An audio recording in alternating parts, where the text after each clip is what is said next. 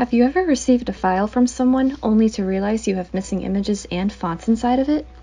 If you do not have these exact same images and fonts this person has on your computer, these can show up as missing in your links panel, leading to some errors on your side and frustration from everyone involved. So, how can you avoid this problem? InDesign has a neat way of allowing you to share all of your files that are in one document in one go.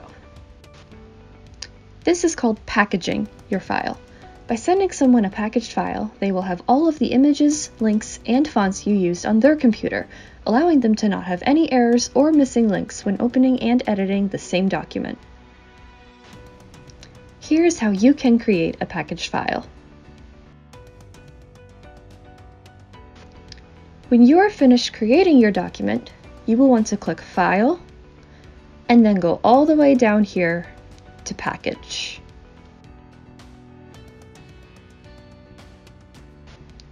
Here, you will see a pop-up window asking you to check the summary and look for errors. You essentially want to make sure all of your images and fonts are free to use. If you end up needing to change a font in a document for whatever reason, InDesign makes it easy to do so here.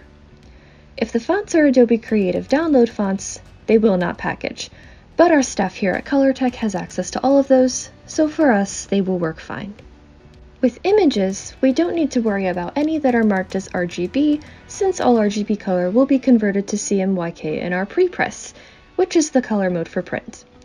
However, if this is not the case for you, you will want to go back and check your document for any errors under the links panel of your document. Once you have examined your document for any errors and have verified that everything looks good, you can now click the Package option, in which you can name your packaged file and then place it in your chosen location. We will place our file in this folder named Colortech. Now that this file is saved, let's look inside the folder.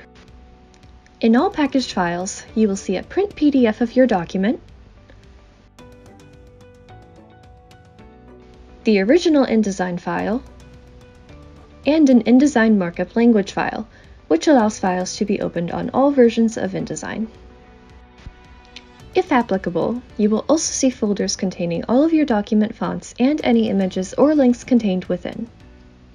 It's important to note that if you add any images or fonts after this step, you will either need to repackage the entire folder again once it's ready for print, or add your images specifically to the images folder, and the same process for fonts. Thank you for watching. We hope this video has been able to show you how to package a file on InDesign and why it is important to transfer links and fonts along with your document.